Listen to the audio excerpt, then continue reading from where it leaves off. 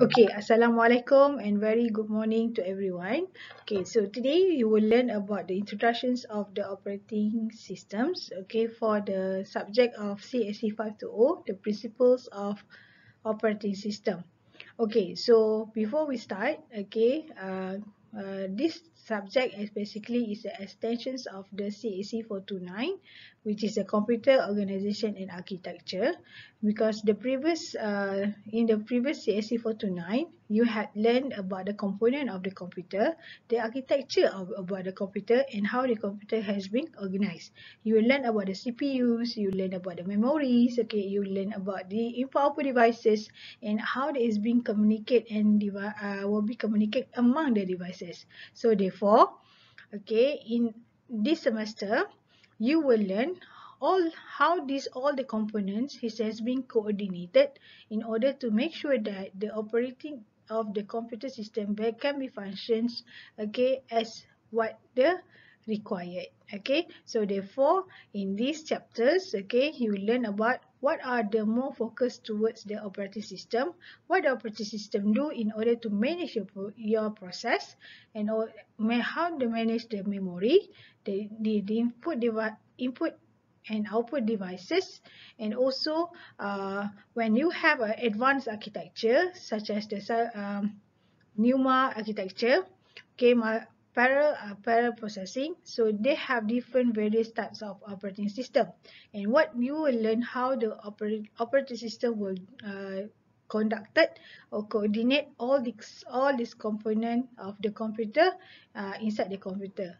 All all of the inside the computer. Okay next in this chapter you nampak macam banyak tapi sebenarnya dia ada sikit je sebenarnya okay so dia adalah lebih kepada fokus kepada uh, just touch a little bit what are the operating system do and dia ada sikit recap daripada CAC 429 anda dari segi organisation, dari segi architecture, the operation. You have to know the fundamental of this supaya kamu boleh faham okay, apa yang operating system uh, uh, terlibat okay, apa yang processor involve okay bila melibatkan architecture dan juga operations okay. Dia sebab dia this operating system ni dia banyak fungsi dia okay banyak fungsi dia. Kalau kita tengok kalau ada setengah orang kalau uh, tengok komputer kalau tak ada operating system dia bukanlah satu komputer yang lengkap okay. Sebenarnya kalau tanpa operating system komputer you still working can be functional but they cannot function as what user require lah Okay, so kalau dia proses, dia proses je. Kalau dia simpan dalam memori, dia simpan dalam memori je. So dia tak boleh, uh, uh, dia tak boleh interact. Eh? The operations and the application cannot interact without the operating system. Okay, so now kita akan tengok the objective. Okay, ni antara objective of the uh, topic. Alright, so now kita akan what's the terms, okay, the operating system means, okay. Alright, operating system is a fill in the blanks. Okay, kita tak tahu, okay, adakah dia kereta ke, dia uh, kapal terbang ke, dia adakah printer ke, dia washing machine ke, okay, adakah ia tu operating system, okay.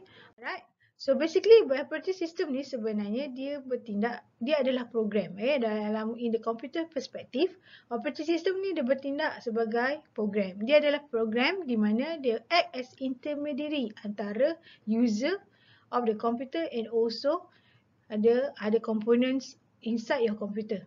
Okay, so kita ada component like hardware, kita ada software, kita ada user, kita ada communication. So apa yang terjadi ialah operating system ni dia akan bertindak antar orang tengah. Okey, antara orang tengah, okey, antara user sebab user yang akan menggunakan yang memberi action apa yang dia perlu nak buat and then melalui arahan. Arahan adalah berdasarkan kepada komputer punya program ataupun application and then daripada situ bila application ataupun program awak perlukan Uh, communication dan uh, perlukan uh, devices maka dia ada satu um, we call a coordinator ataupun um, okay as a chief okay in order to make sure that your uh, whatever your user required okay through the instruction tu boleh sampai kepada hardware yang diperlukan ketika dalam uh, menggunakan ketika menggunakan komputer. Okay, so maksudnya contoh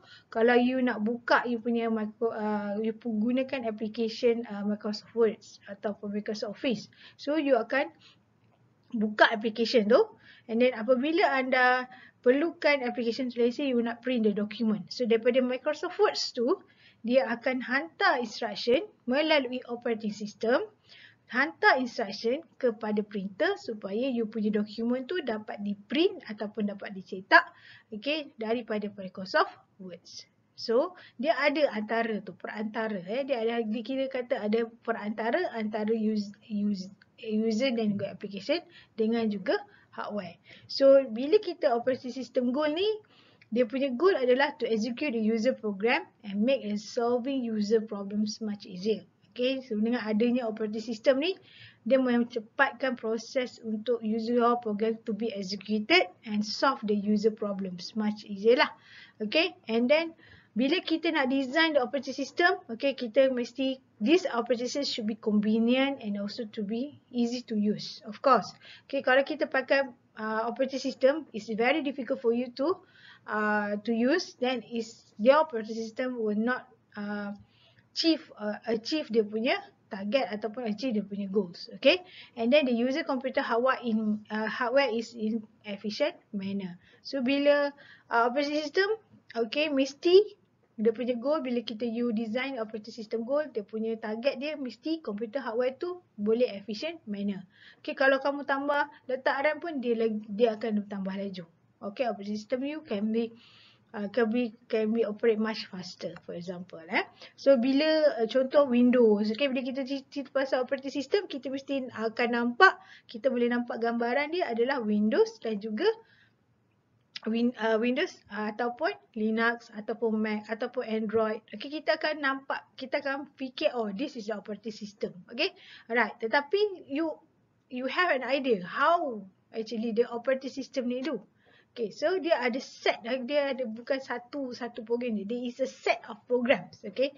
Supaya dia bertindak, okay, untuk coordinate semua uh, uh, uh, all the components, applications, okay, in order to co in order your punya computer can operate, okay, as a specified function lah.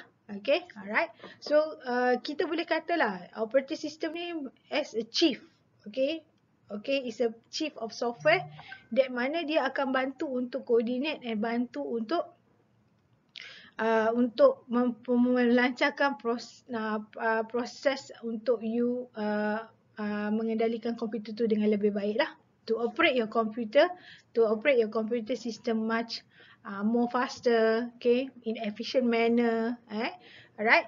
Dan sebagainya Alright, so the operating system, kalau kita boleh buat saya buat satu analogi, okay, di mana operating system ni, okay, kalau kita pernah pergi ke orkestra ataupun kita tengok dekat orkestra, eh, bila kita tengok satu orkestra, okay, kita ada nampak tak ada satu orang, okay, konduktor eh, berada di tengah-tengah, okay, dia akan conduct. Okay, bila kita berada dalam satu orkestra, dekat orkestra tu kita ada beberapa jenis, uh, beberapa jenis uh, instruments, okay, alat muzik. Kita ada piano, kita ada violin, kita ada cello, kita ada trumpet, kita ada kita ada uh, macam-macam, kita ada gitar, okay, kita ada drummers, okay, drums, okay.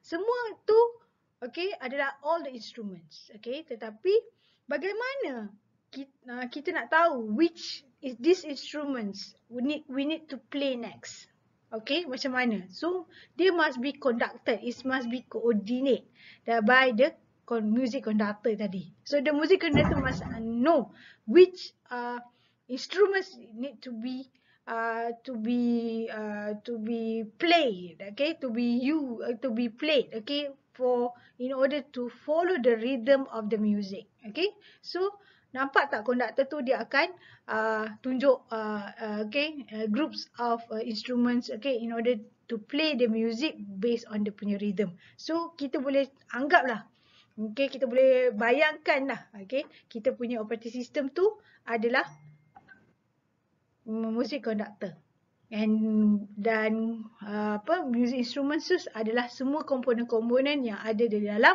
komputer. Termasuklah hardware, termasuklah software, termasuklah you user sekali. Okay, so itu kita saya boleh gambarkan uh, bagaimana operating system itu. Okay, sebelum kita pergi jauh lagi, we go further more on the operating system, we have to understand about the computer system structure. You kena tahu uh, apa structure dalam komputer apa yang ada dalam komputer. So, komputer kita boleh, sebelum ni kamu dah belajar okay, dalam CSC 429. Just only a brief recap on the CSC 429.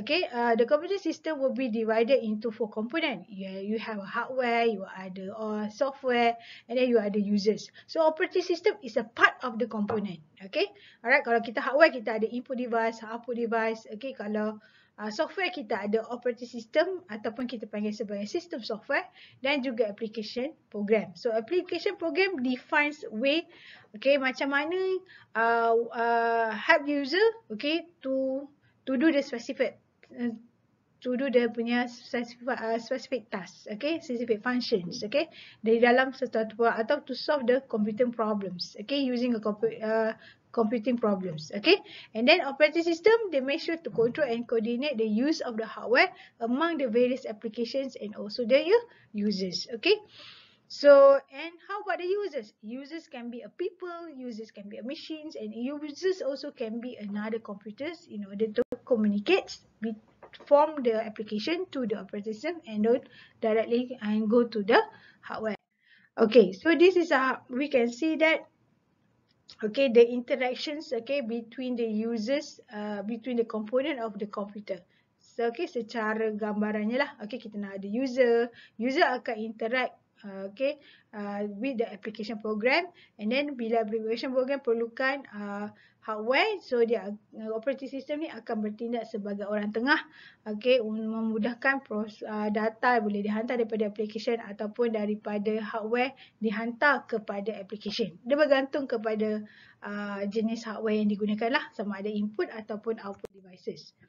Okey so what our operating system do? Okey on the point of view. Okay, kita bergantung kepada operating system. Nanti kita akan tengok kita ada beberapa they have a various type of the operating system. Okay, later on. So, the operating system uh, depending on the uh, points of view. Okay, kita ada the points of view in terms of user perspective. Bila kita tengok apa yang operation system ada user perspective, kita akan nampak kita nak operation system kita cantik. Kita nak operation system is convenient to use. Okay, kamu pakai Windows. Windows walaupun laptop awak jenama Dell, jenama Asus ke, jenama Lenovo ke, jenama apa sekalipun, your, portal, uh, your operating system is, is the same and it can be op, uh, can be uh, work and functions. Okay and ease of use. Okay, you suka tengok. Okay, should be uh, uh, ease of use. Easy for you to use. Betul tak? Okay, kalau kamu tak tak cari-cari mana icon nak start, mana nak icon nak shut down. Okay, and then they have a good performance. You tak nak you punya computer system, operation system you slow. So, this is what the operation system has to uh, uh, will be uh, kena will have to look into it. Okay, they have to look okay to to look into this kind of consideration in order dari segi design dari segi implementation dari segi dia punya uh, structure okay so and then bila kita and then as we know kita tahu you have a different types of computer. So bila you ada servers, okay, bila you ada types of computer, there is for use for server. So the server dia ada dia punya operating system. Okay, kalau personal computer, dia ada operating system. Kalau you ada mobile, dia have a mobile operating system. And then kalau you ada uh, tablet, uh, tablet dia normally dia pakai uh, sama lah, okay, dengan desktop, okay. Cuma dia mungkin uh, the features will be different lah, okay. Uh, kalau macam Android, okay, Android boleh pakai dekat dia punya uh, Samsung tablet, okay, uh, dan juga dia pakai handphone, okay. Uh, dan you banyak, okay, you have a design. So the operating system can work not only at the certain certain hardware, but also it can be work in the various type of hardware. Uh, so kalau dia mobile, dia have a mobile user interface. Okay, kalau mobile macam smartphone, eh, so dia ada. Okay, so this is what you need about the operating system. Itu yang you perlukan dalam operating system. So the terms of the OS will cover the many rules. Okay, banyak. Okay, rules dia banyak. Rules dia bukan ada satu je. Bukan dia execute je. Okay, execute kerja CPU. Okay, alright. Uh, uh, masukkan data okay di mana uh, data atau proses atau instruction tu mesti will be located dalam memori okay? So itu memang kerja operating system. Tapi siapa yang responsible untuk letak benda tu? Ah itu kita kena belajar dalam operating system okay? Right The terms operating system will cover many roles because they have a my design, the use of, depending on the use of the operating system. So they have a lot of okay present uh, present in the toasters okay where the ships, the spacecraft, the game machines, the TVs and industrial control system. So they will cover banyak okay banyak roles. So uh, when you defining the operating system, so you can ingat okay the keyword is act as intermediary or the chief of the software.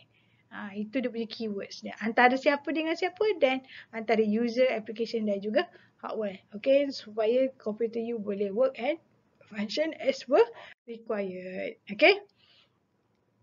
Alright. So the everything, okay. So the apa beza sistem program dan juga application program. So sistem program, okay, they ship with the operating system. So operating system will so fall under the system program ataupun dipanggil sebagai sistem software. Okay.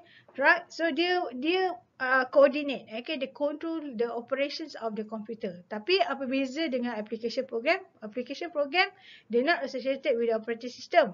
Application program is a, a set of uh, instructions that work to help the users to perform the daily activities okay? Ataupun the, uh, the for any types of uh, to solve the uh, user problem through the uh, computer okay? So today operating system have general purpose uh, and can be used as a general purpose and also as a mobile computing okay? It become a middleware Middleware means the set of software that framework that provide antara application developer dan juga database dan juga multimedia lah.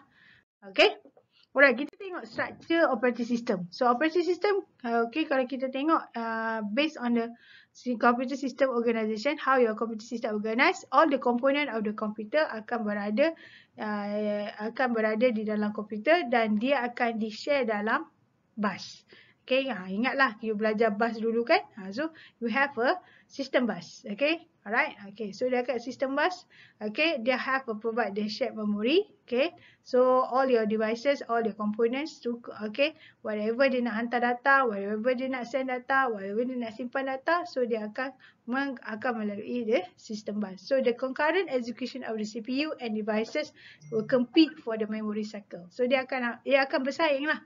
Okey, dia akan bersaing. Okey, antara CPU dan juga devices. Tapi yang biasanya menang adalah CPU kerana CPU dia lebih cepat daripada the speed access and the transfer access of the CPU much faster daripada ada devices. Okay, so the either devices and the CPU can execute concurrently. Bila kita tengok komputer sistem dia kena seiring. Okay, kalau awak tekan A, dia terus keluar display of A. Dan proses ini sangat cepat. Okay, so dan dia di sini oleh kerana uh, dia perlukan devices so dia setiap devices tu akan ada satu device controller that is just for the particular device type. Okay kalau dia keyboard keyboard dia ada keyboard punya uh, device controller. Kalau you ada mouse uh, you mouse controller okay? So setiap controller ni have the operating system that we call that uh, that be managed okay through the device driver Okay, so uh, operating system dia manage you punya devices adalah melalui device manager.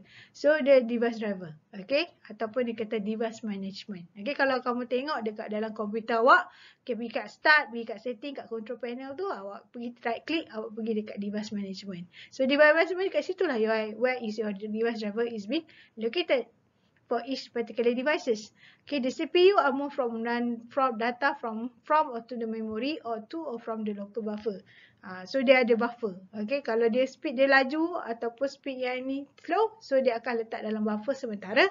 Okay, kerana you have a different mismatch of speed between the devices. Okay, so this bila dia ada mix match, okay, uh, of the speed, So uh, dia locally dia akan letak dalam buffer and then bila dah okay then dia akan masukkan balik lah dan dia execute macam biasa.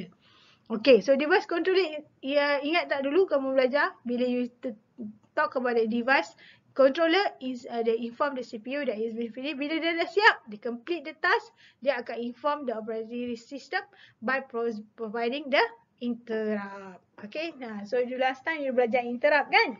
Okay, the device uh, input output. Okay, communication kan, uh, device communication. So, dia akan berlakunya interrupt. Interrupt ni bukan apa, interrupt ni adalah satu signal.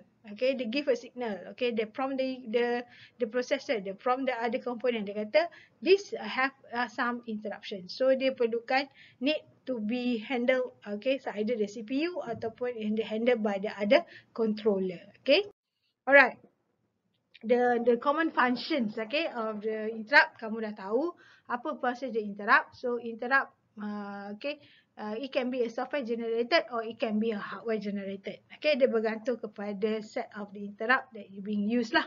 So operating system sendiri adalah interrupt interrupt driven okay. Dia dia dibina okay will be developed okay to have a interrupt driven. Okay dia kata tak ada operating system boleh buat je tak ada interrupt ada eh right? Because they need a, a, a attention, okay? Right? Boleh tak? Okay?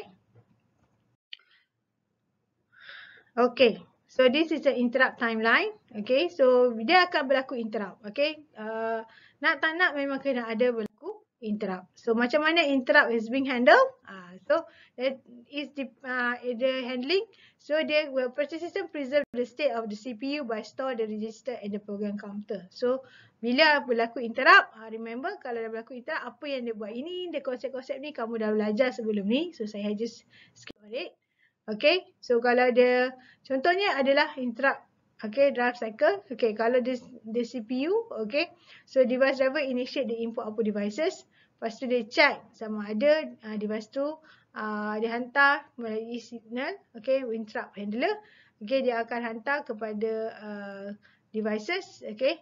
And then kalau dia perlukan okay dia akan hantar uh, dia akan uh, pergi balik lah okay ke, ke device driver. Okay so this is how the cycles okay And then uh, the input output structure ada dua cara dia handle sama ada dia menggunakan input output after the input output start the control will return to user program only bila input output tu complete. Okay.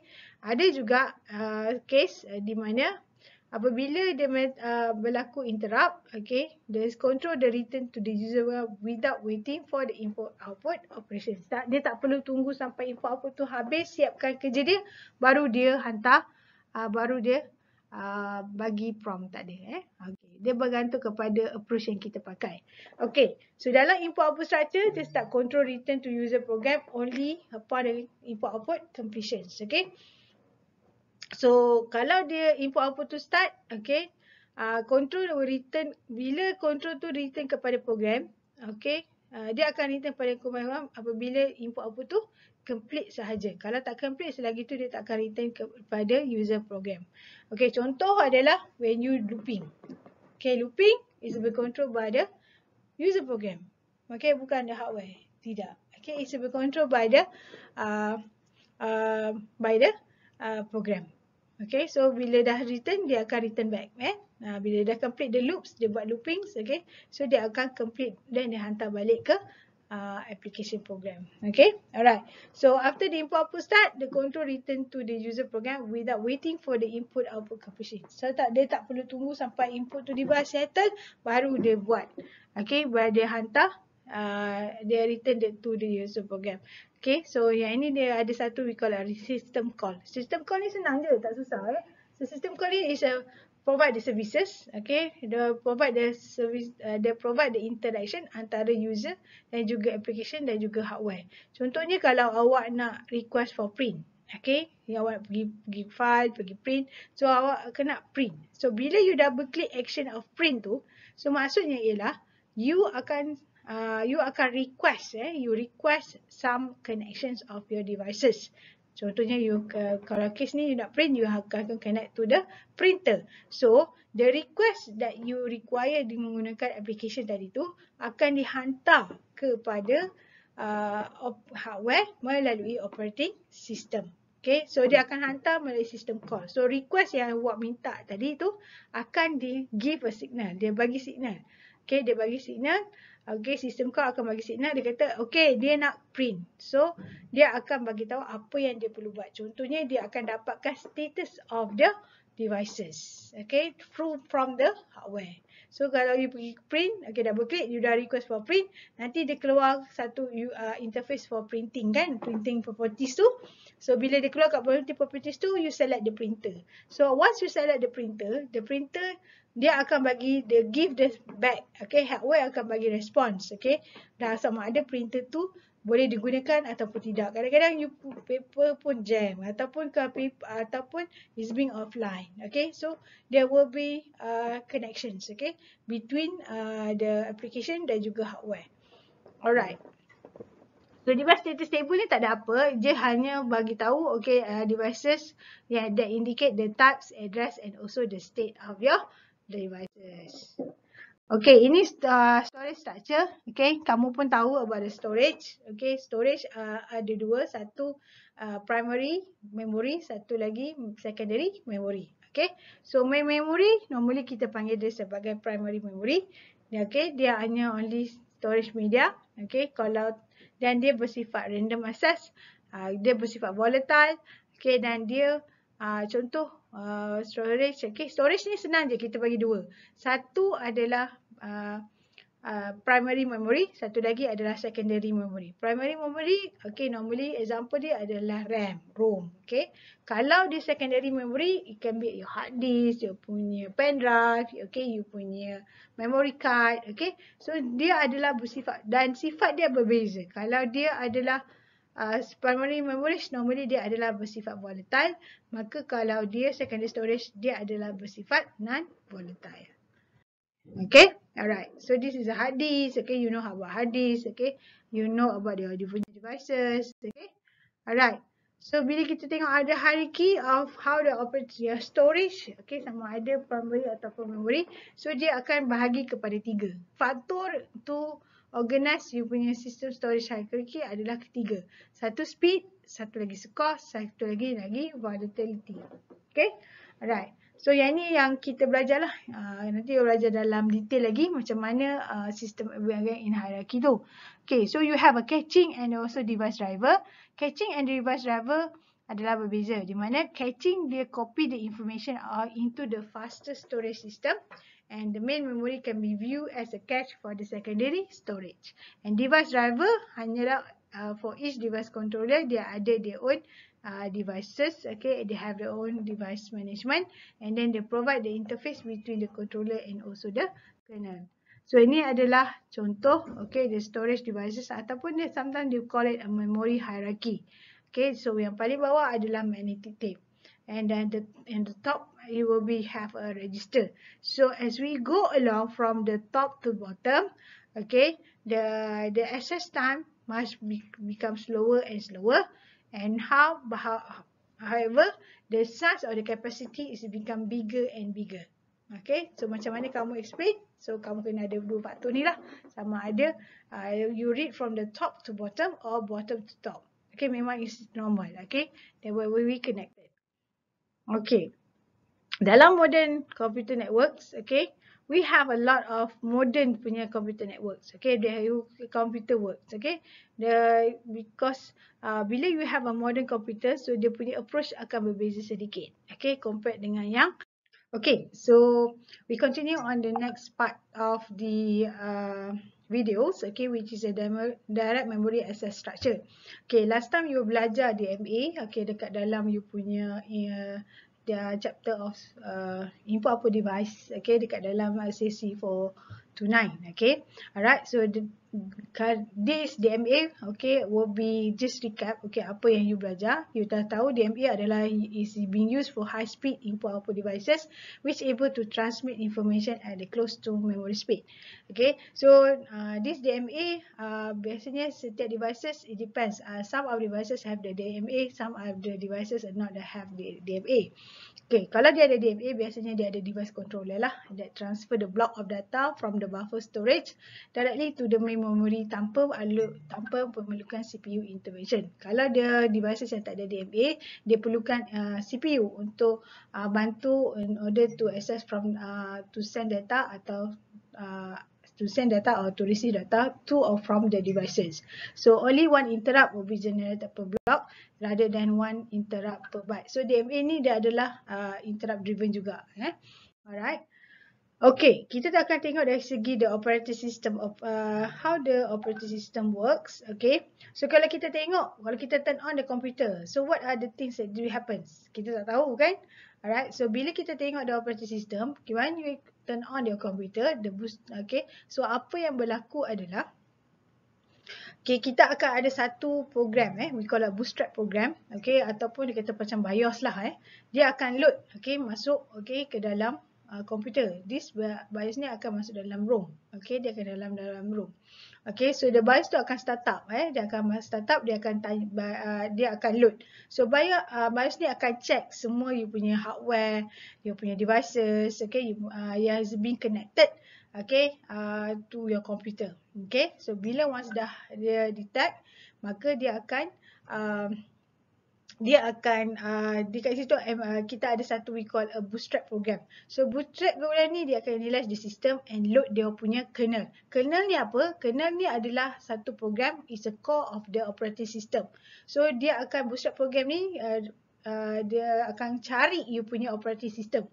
Okay, so kalau operating system awak berada dalam C, dalam partition C, so maksud dia akan cari you punya kernel tu dalam uh, C lah. Kalau you install dalam D, maka you akan akan cari operating system awak dalam partition D lah. Kalau you punya boot uh, daripada pendrive, maka dia akan cari you punya kernel tu dalam pendrive. Tapi kena bootable from the uh, from the pendrive ataupun hard disk lah. So normally by default kita akan uh, set the the boot uh, uh, ada punya boot tu so, uh, sama ada hard disk ataupun CD ataupun uh, pendrive. It depends. Okay. Alright. So bila dia cari kernel, okay, dia akan cari kernel. So the kernel will be load. Okay. So kernel ni core operating system. Okay. Core operating system. Tak ada kernel, dia tak your operating system will not be function lah. Okay. So the kernel will be load. So bila dia kernel kan load, so dia akan cari all this uh, dia punya uh, Windows punya files, okay. So dia akan cari Windows file where your uh, win kalau dia Windows, so dia akan cari your Windows file. Kalau dia Linux, dia akan cari Linux punya file lah. Okay, so dia dekat situ dia akan start the system daemon, dia akan provide the services that will be outside of the kernel. Okay, so kernel akan operate, dia akan cari. Okay, kernel juga dia near to the hardware. Okay, that's why dia dia kena dia kena load dulu. Okay, sebab hardware dia tak tahu eh kat mana hardware berada. Okay, user tak tahu kat mana hardware is being connected. Okay, physically you nampak yang boleh nampak. Kalau yang komponen you cannot see uh, secara physical. Okay, so the kernel ni adalah interrupt driven. Okay, either it can be hardware or software.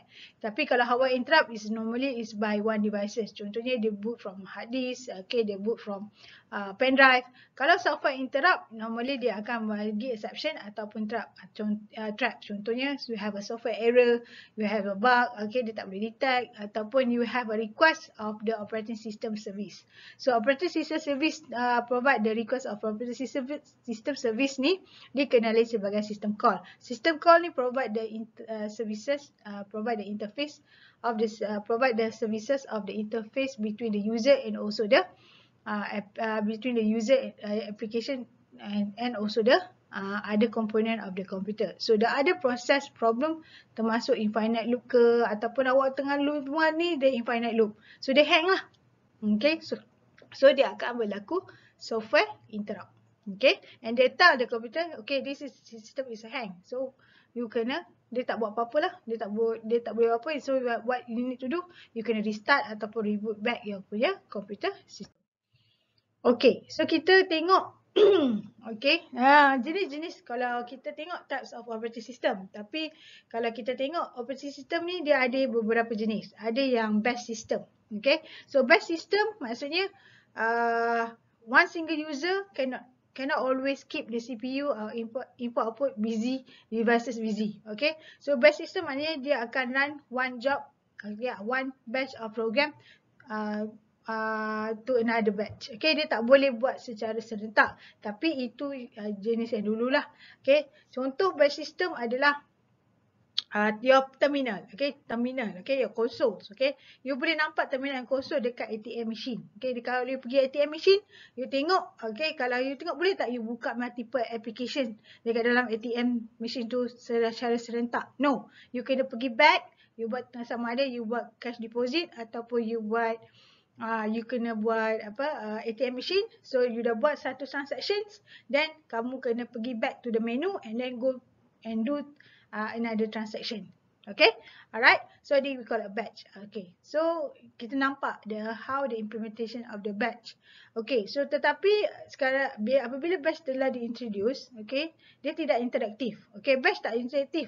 Okay, with the user. Okay, dia hanya pakaikan dia punya execution of the application ataupun the system sahaja.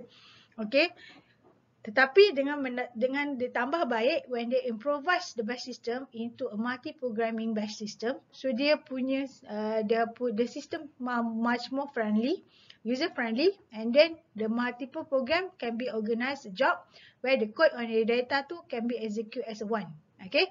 And the subset of the target job tu uh, as a one. So dia lagi cepat dan lebih interaktif lah okay compared to only using a bash system. So apa yang operating system akan uh, lakukan ialah apabila you have a multiple program running dalam satu masa? So responsible of the operating system to make a schedule. Okay dia kena schedule which program which task need to be execute first by the processor. Uh, di sinilah uh, peranan okay what the rules of the operating system is involved okay bila uh, when you when you want to make a decision which one of the devices need to be uh, executed by the processor. So you dah tahu processor buat apa. Okay, do through the machine cycle semua. Tetapi kamu kena tahu, okay. So apabila to have a, you have a more than one program running dan nak di run dalam satu masa, so you can have to choose which application, okay, ataupun the system yang akan di execute oleh the processor. So decision making is not by the processor is by the operating system melalui job scheduling. So yang ini nanti you akan belajar later on macam mana how the job scheduling is being managed uh, melalui the next uh, the uh, the next chapter dalam proses ya. Okay. Selain daripada situ, operating system juga boleh bekerja sebagai as a multitasking ataupun we call as a time sharing. Di mana the response time of the uh, this type of operating system biasanya less than one second. So dia akan switch, okay. Bila dia multitask, okay, dia akan uh, dia akan menggunakan satu uh, mechanism di mana dia akan menggunakan as a context switching. Context switching means dia kalau CPU tu dia boleh switch daripada one process to another process. One task tu dia buat, dia boleh buat another lain. Okay. Uh, so kalau macam awak, kalau kat rumah, uh, awak boleh multitask. So maknanya uh, macam awak kerja part time. So awak sambil awak belajar online, sambil tu awak buat grab. Sambil awak buat ni, awak buat tu. Okay. Uh, tapi you tahu kat mana time where you can switch. Okay. From your one task to another task. Okay, so sama juga dalam operating system. So bila operating system, you have a lot of, you have a different different programs, okay, that running at the same time. So uh, CPU, uh, operating system, eh, C, uh, CPU boleh switch, okay, from one process to another process by designing the operating system dalam bentuk yang multitasking. So, so operating system currently memang multitasking. Dia time shared. So that's why kalau kamu tengok, um, So, uh, kamu tengok, you boleh open your application, you boleh run your application, multiple application dalam satu mah, masa. You boleh buka browser, you boleh dengar lagu, you boleh buat social media, you aku boleh interact through your social media, you boleh do main games, okay? Dalam masa yang sama, you can a lot open your applications uh, banyak dalam masa kerana you punya operating system adalah bersifat multitasking, okay? Dia dia are multitasking, okay? So therefore, the user has a, uh, uh, therefore, they have a several jobs run at the same time. Okay, macam mana operasi sistem manage benda ni melalui CPU scheduling. Okay, macam tadi dia ada CPU scheduling. Uh, kalau dalam multi program, okay, uh, dia ada multi uh, job scheduling. Tapi dekat sini dia ada CPU scheduling. CPU uh, scheduling. Kenapa CPU scheduling not a job? CPU akan switch. Okay, CPU yang akan switch daripada satu proses ke another senada task yang lain. Proses or task or job okay yang lain. Okay so for example proses uh, proses yang ni uh, dia perlukan devices. So dia biarkan uh, uh, devices running dulu. And then apa yang CPU buat dia tak akan duduk tunggu sampai the uh, devices uh, of the application siap. Tak. Dia akan pergi switch to another process. This is we call a uh, switch context switching konsep ni nanti you akan pergi detail uh, macam mana uh, how the context switching is been done selain daripada itu kalau proses tu tak cukup daripada memory dia boleh swap move okay from the um, in and out from the memory. And then ditambah lagi dengan uh, dengan apa? Dengan uh, uh, dengan features di mana dia boleh pakai virtual memory. Okay, kamu dah belajar virtual memory ni dalam CSC 429. Okay, so so virtual memory. You will learn about the concept of virtual memory di mana you can execute your processes which is not complete dalam memory. Okay, nanti kita akan pergi detail okay, on the virtual memory part. Okay, kita tengok uh, macam mana uh, layout of your memory when you run or your operating system run in a multiple program. Okay, so dalam you punya memory, the top of your memory will be your operating system, iaitu your operating system kernel. Okay, so bila the operating system kernel, so your another process, uh, process-process yang lain, dia akan divided into a several uh, partitions. Okay, there's a, they, they akan bahasa so that uh, your punya program, more than one program can put or uh, can be uh, located into the uh, memory. Okay, uh, so this is how the memory layout. Okay, so dalam uh, your punya operation, the Windows uh, dalam operations, okay, dalam Windows operations, dia ada dua mode. Satu we call a user mode, satu lagi atau we call a uh, user mode ataupun dan satu lagi we call a kernel mode ataupun privilege mode. So dia allow, okay, so the operations itself can ada in the user mode ataupun kernel mode. So macam mana dia nak tahu sama ada uh, the operating system work in the user mode ataupun the kernel mode. So dia ada satu mode bit. Okay, mode bit will be provided by using a hardware di mana this mode bit will provide ability to distinguish when the system is running on the user code, when is the user is running on the kernel code ataupun system file, a system uh, system system punya code. Okay, alright. So there's a mode bit. Okay, so when user running as a mode bit, so the maknanya dia akan running on the user mode. Okay, ataupun in the user uh, level.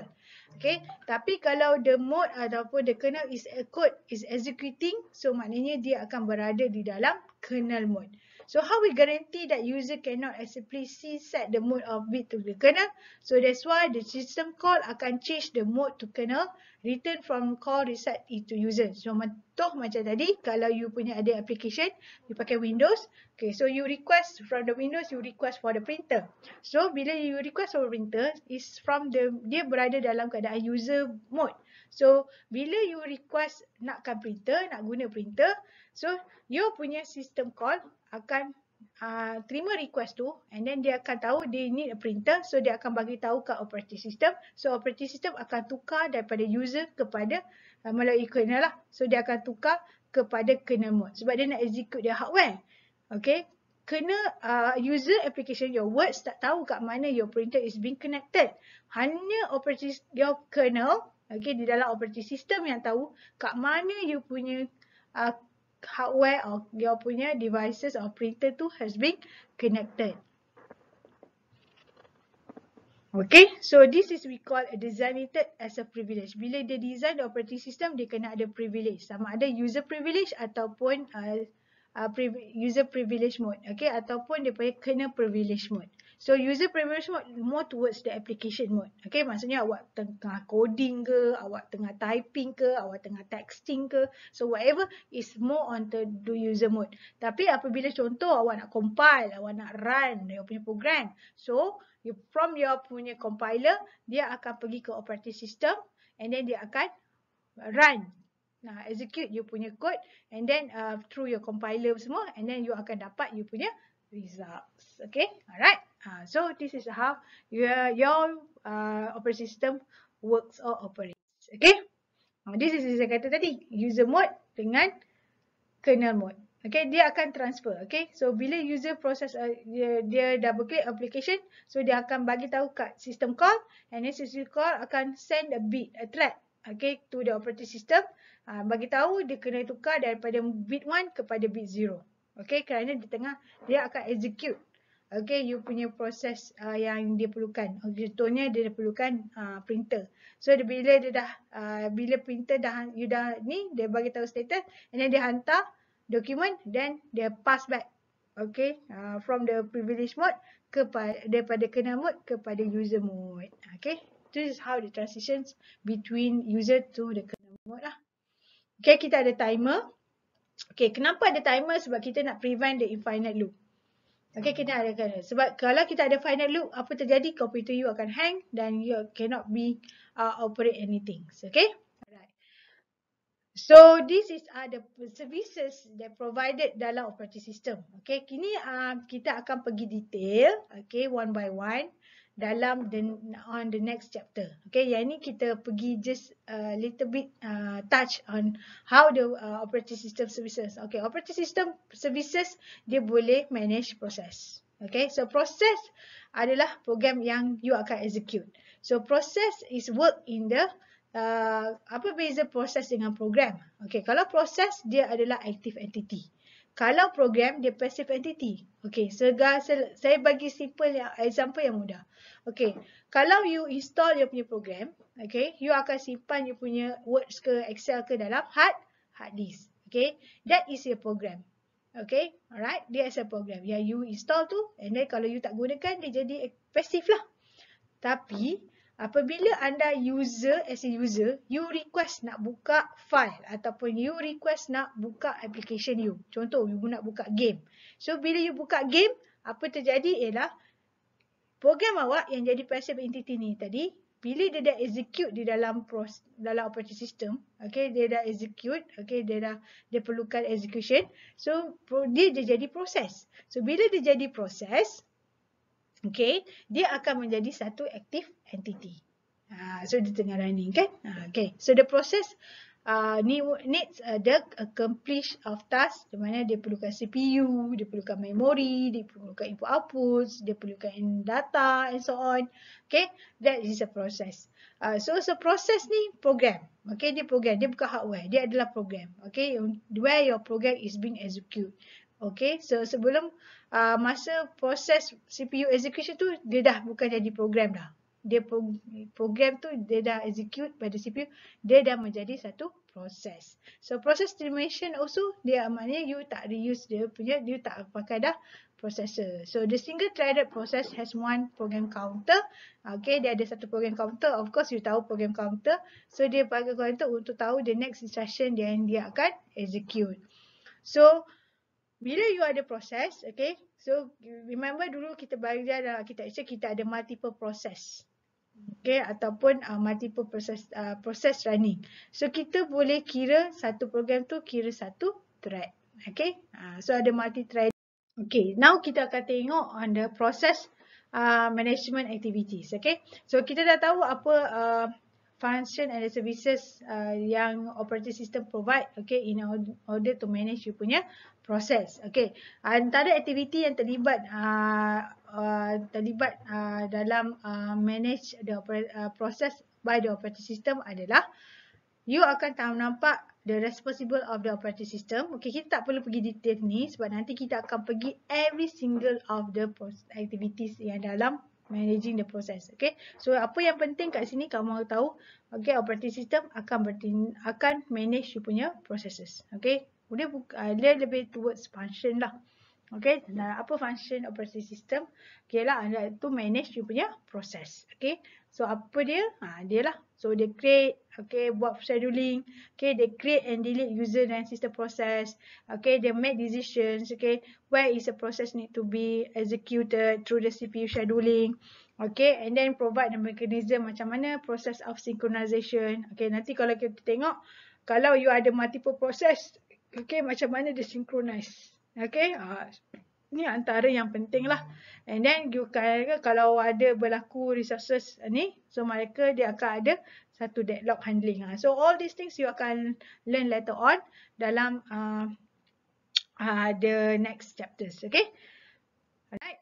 and then you have a memory. Okay, Last, uh, another component uh, yang dia manage by the operating system ialah memory. Okay, dia manage you punya memory. Semua execution of your punya program ataupun data semua akan dia masukkan di dalam memory. So the mem uh, bila masa uh, dia uh, the instruction or your data need to require a memory, so uh, the operating system will take part. Okay, and then dia akan tentukan, will decide. Okay. Uh, which uh, uh, kat mana data and instruction tu akan berada dalam memory.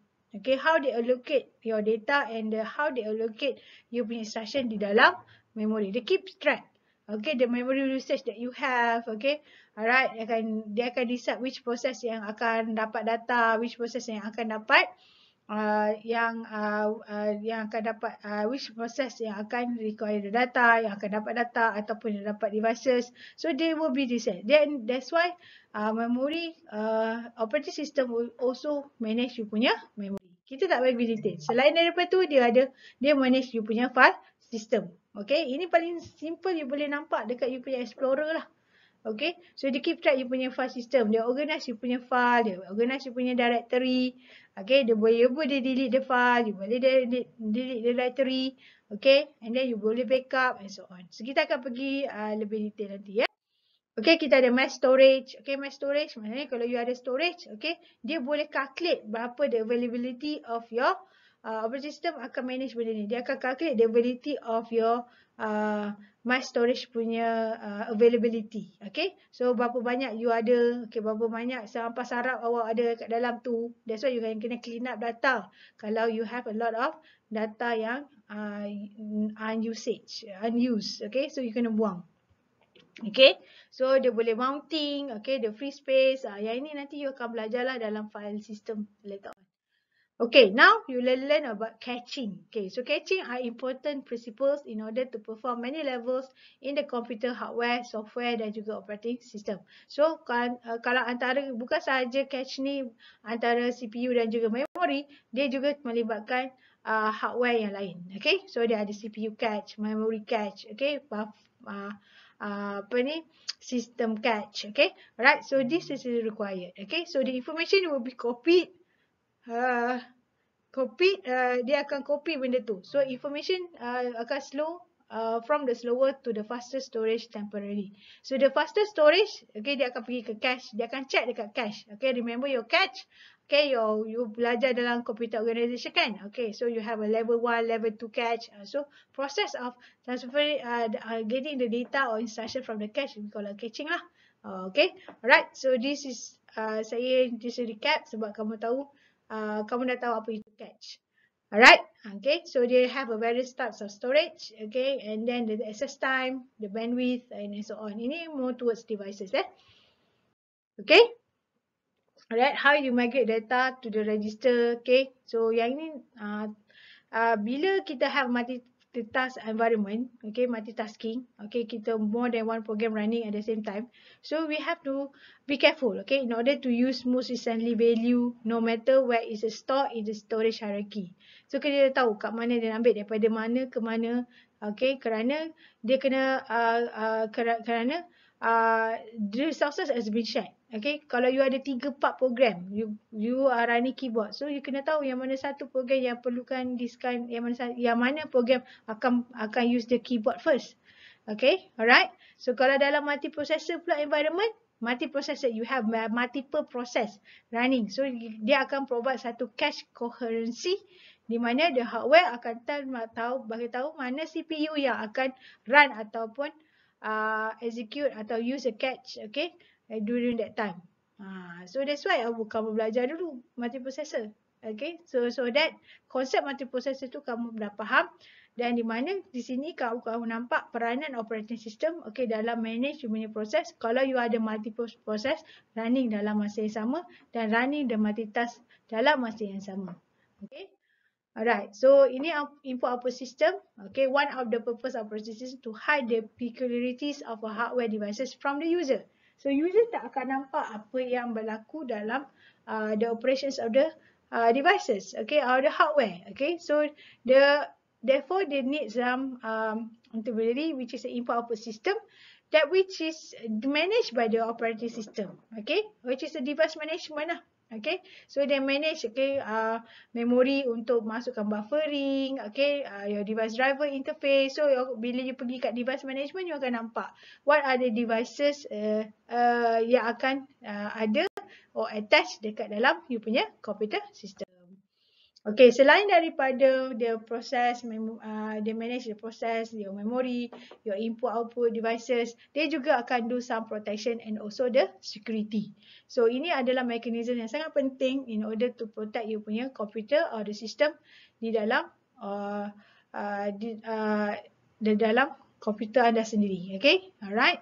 So protection can be uh, can be done by uh, the operating system itself. Okay, and the security will defense okay, any internal or external attacks ataupun threats. Okay.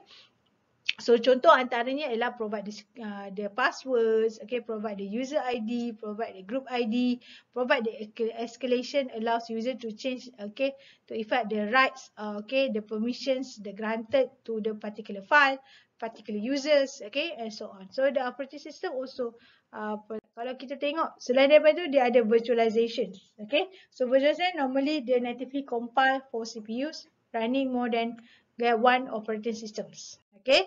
Right uh, so virtualization okay use involve sama ada laptops or desktop running a multiple operating system okay for explorations of the compatibility. Ini normally berlaku di dalam server okay di dalam server. So you have a several virtual server eh dia banyak uh, satu server tu physical server.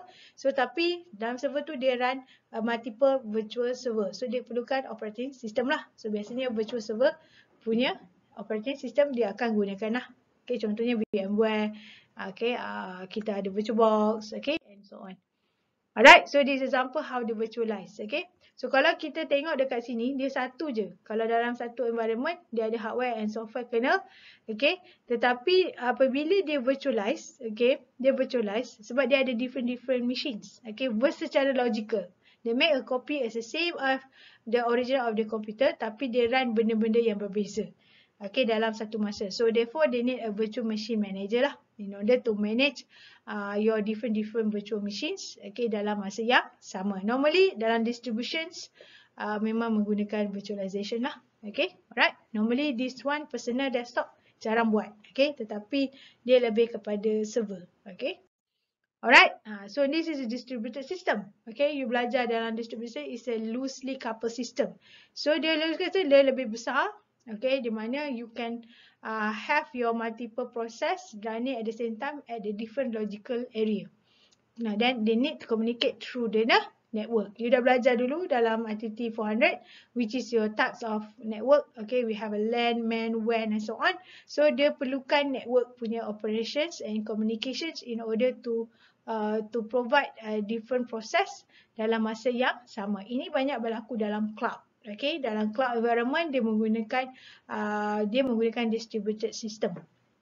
Okay, contohnya Google. Okay, dia ada different different server in a different different area dalam masa yang sama. So kalau dia down satu, satu lagi boleh up and running. Okay, and then they have a network operating system in order to provide the system across the network. Okay, alright.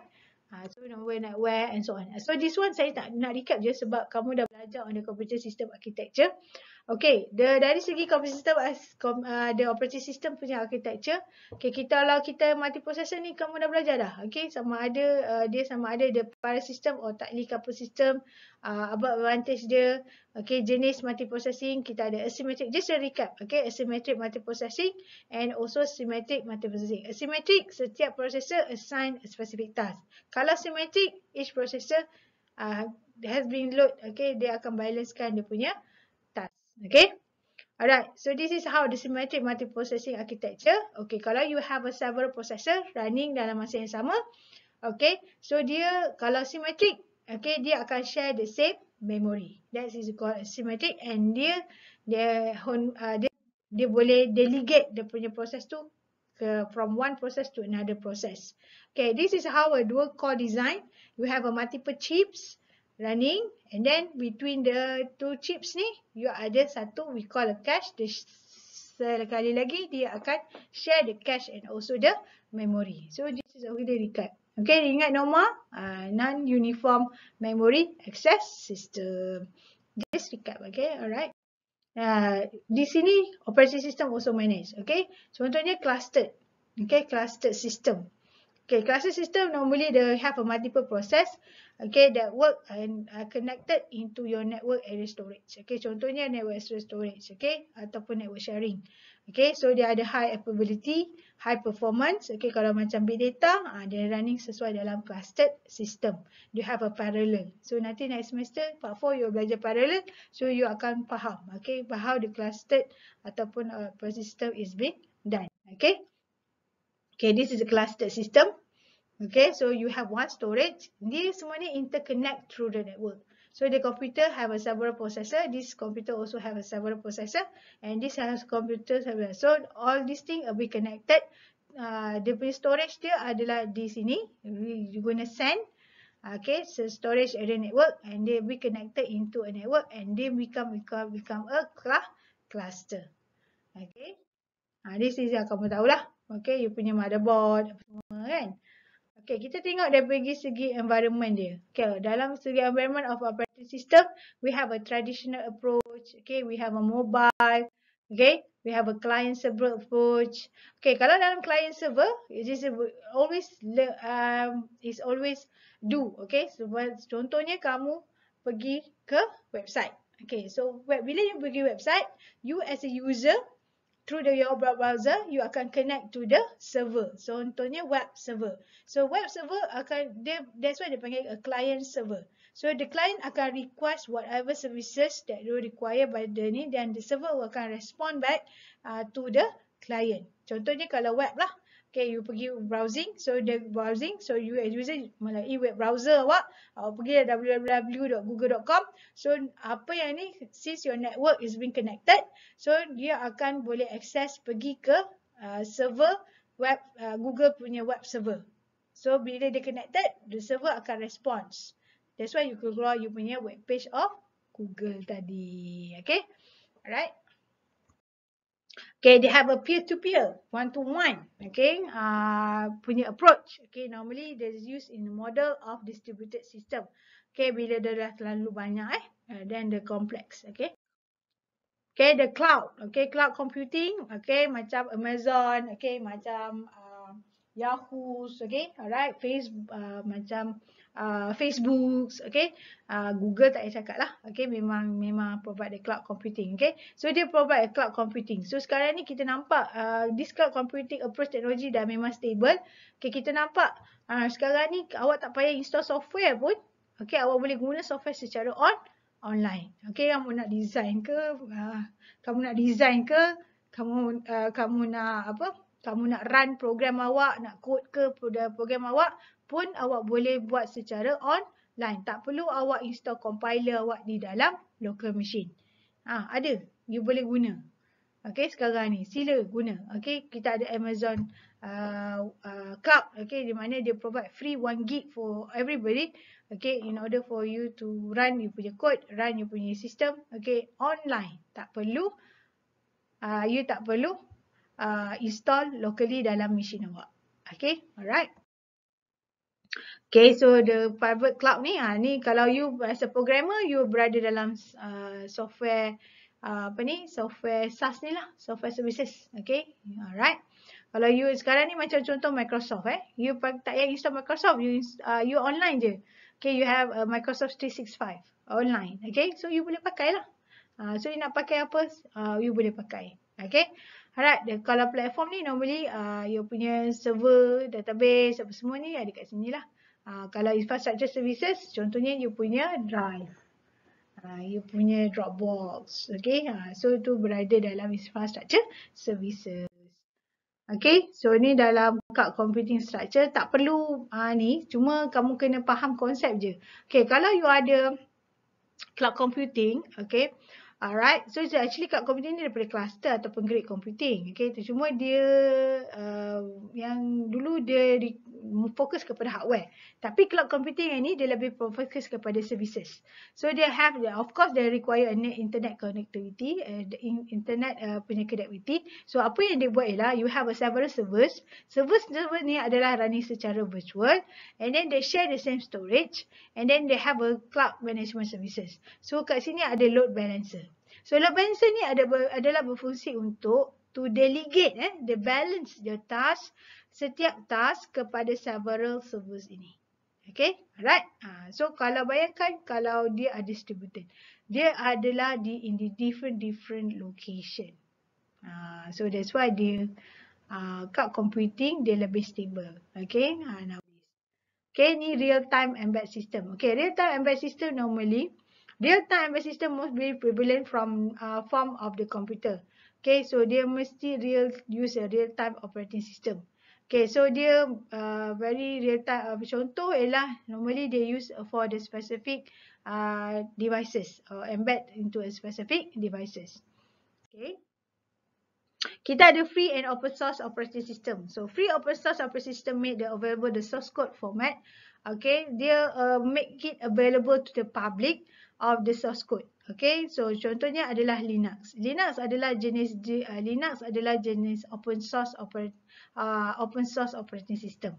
Okay, so the source code is open to the to the public. Okay, in order to dia nak modify ataupun dia nak update upgrade. Eh, contohnya they have a new hardware uh, invented. So this hardware invented uh, perlukan device driver if you want to running in the Linux. So dia akan provide sesiapa yang provide the uh, okay the code ataupun the source code untuk uh, membolehkan dia punya new hardware tu can be detected. So then you are free and open to the public. So dia free community. Okay? Cumanya problem dia ialah support lah. Okay? Untuk maintenance ke apa ke kadang-kadang uh, kalau dah orang tak ada nak nak share dia punya code ke tak ada apa ah dia akan sampai mati uh, dia tak ada upgrade version lah. Okay compared to the windows. Okay kalau windows dia license. Okay dia win okay license uh, software license. So dia uh, tie with the license okay uh, that's why dia ada update. Okay the time dia update. So bukan tak ada linux dia ada update. Dia ada release update. Tapi dia dia sentiasa keep update sebab kadang-kadang sebab dia open source eh. Uh, so you boleh install uh, okay, you boleh nampak orang akan share the code. Okay, biasanya uh, dia akan through dia punya Linux community lah. Okay, alright. That's all for now. Okay, for the chapters. So I hope you have uh, read through the textbooks. Okay, the e-books that I given to you, and then uh, uh, supaya dalam chapter 1 ni dia lebih ke general. Apa yang kena tahu component of the computer where is operation system you all about apa fungsi dia. Okay then apa kaitan dia dengan architecture. Okay supaya kamu faham uh, later on uh, fungsi-fungsi setiap operating system di dalam ni akan di detail out okay uh, into the next chapter. Okay that's all for now. Okay thank you